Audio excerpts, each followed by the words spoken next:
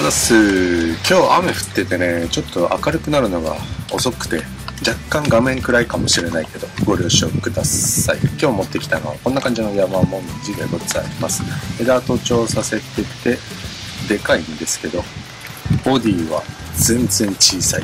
山もみじと豆サイズならねこれぐらいのサイズでいいんですけど枝と調させて少しずつ太りを得ようと思ってる山もみでございます。これもね取り着物でございます。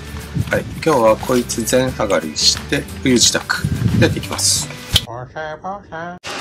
早速やっていきましょう。今日触っていくのは YMJ の9番でございます。YMJ の9番山もみじの9番。こんな感じのボディをしている山もみじの9番でございます。今日雨降っててね風が終わった。終わった。傘が飛ぶ傘が飛ぶ。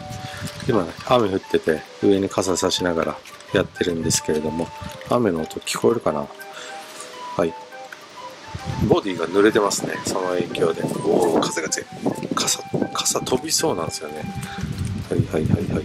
こんな感じのボディを持ってる山もみじ綺麗に紅葉してますね。こっち側は。こっちちょっと緑が残ってるんだけど日当たりの問題なのか何なのか。わかんない。日当たりっぽいですね。はい。で枝をギューンと徒長させてめちゃくちゃ伸びてます。はい。そんな感じの山もみじ今日こいつ冬支度やっていきましょう。まあまあまあまずは都庁枝さんありがとう。